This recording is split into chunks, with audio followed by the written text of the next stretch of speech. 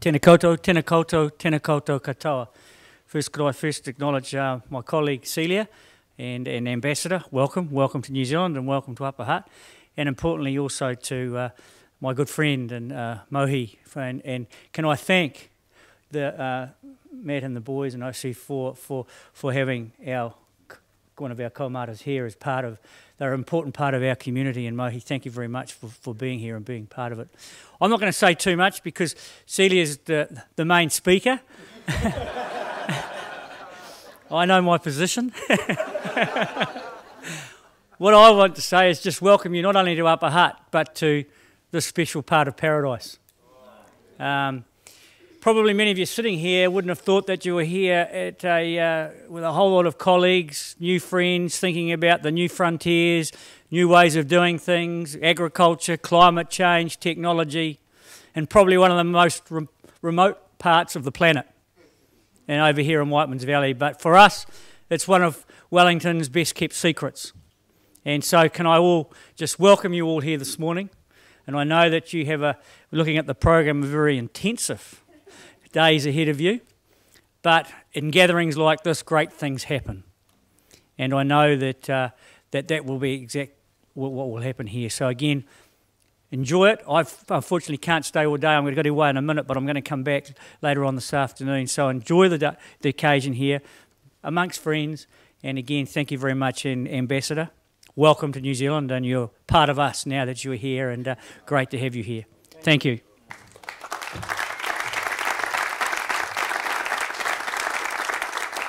E ngā iwi, e ngā mana, e ngā reo, ko Papa e e takatone, tēnā koe, tēnā koutou, tēnā koutou, tēnā koutou katoa.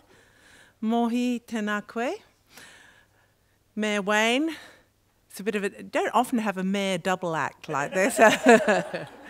I might point out that he's the chair of the Economic Development um, Committee, and I'm merely the deputy. So you know, I have, I have to, I have to toe the line too sometimes.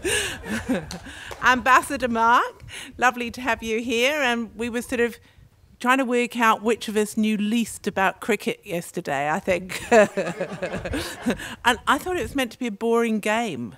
And I just discovered that maybe it was rather a lot of fun too. I'd like to acknowledge actually James, MP. Nice to have you here as well.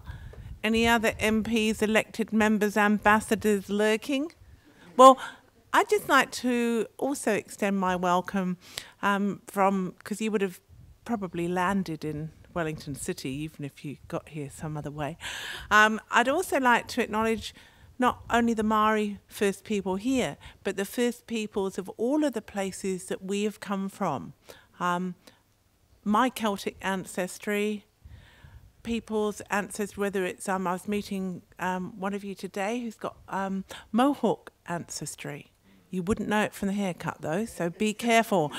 Um, and also, I'd like to acknowledge um, Joseph, who I got the invitation through. I mean, after all, we're all from Africa originally. So thank you for bringing us together. I think this is going to be really interesting. I didn't have the opportunity, as Wayne did, to come last year. So um, I'm just really enjoying and uh, my tiny contribution of picking blackberries for breakfast. I hope you know Wellington City Council will be able to do something a little bit more substantial in helping us. And they're very nice blackberries, though. Um, and the, I was reflecting, we call ourselves a smart capital, but that's meant to be an aspiration that we are smart about what we do as well as how we do it.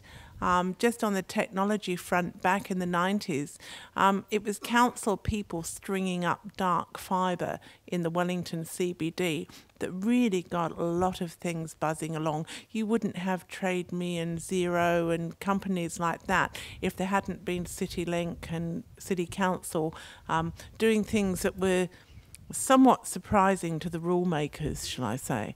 And that's what we need to do. We need to do surprising things and um, adapt the rules to suit the survival of the planet and ourselves, and um, so that there's more than just cockroaches that live here. That would be really, really good. Um, I wasn't referring to anyone, okay? Honest. So, I mean, some of the smart things that happen these days Webstock, Dev Academy, um, Summer of Tech, um, AnimFX, there are some extraordinary things happening where, you know, in, in the UK, you might sort of gather the accent. I have nothing to do with the English cricket team, okay? I was born in London, but I have nothing to do with the English cricket team. Um, they have nothing to do with me now. I got the captain's name wrong. Um, in the UK, a city of 200,000, or even, you know, if you take the whole region's numbers, 480,000, it would be unlikely to have something as special as the high tech, innovative sort of ecosystem that we've got in Wellington. And part of it is what we often consider our problem is that we're quite isolated. But if you put a group of really interesting people together in a marvellous place, some extraordinary things happen. And I think this, I'd see this as new connections almost, new, not new frontiers. And you know, council can only do so much, or the ratepayers begin to squeak a little. But we have supported a number of those initiatives. We've supported um, Enspiral, and they're sort of behind Dev Academy. We've got Loomio actually being used by some of the council groups and so on a little bit. Um, and we really, um, without technology, there are so many things we couldn't do. One of my favourite um, organisations that started in Wellington, went on to win national community awards, is Kaibosh. They collect Mean, their idea is zero hunger, zero food waste. And they connect all of these great little cafes and um, supermarkets and food producers at the end of the day, this food that would be going to the landfill or at best compost, and they make sure that it goes to food banks and people who are hungry and all sorts of things. So it works out really, really well. But they couldn't connect all that. Um, the food would have gone off a long time ago if they tried to write each other letters, wouldn't it? So, you know, there's some really different stuff happening, and I hope you'll make lots of new connections.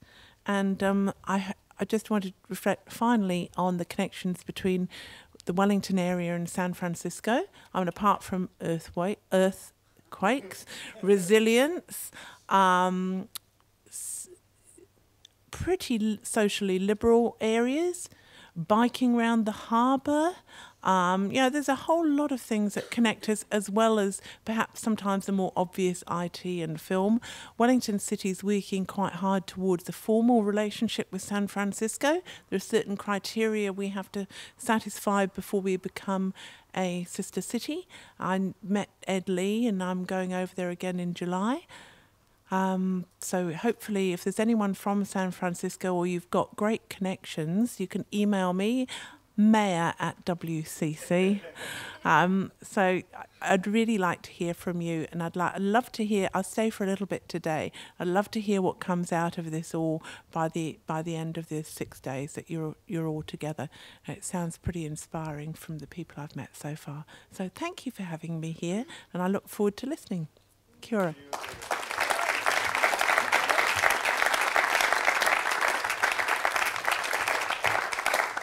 And Mo has kindly offered to join me in the Waiata Ehara i te mea.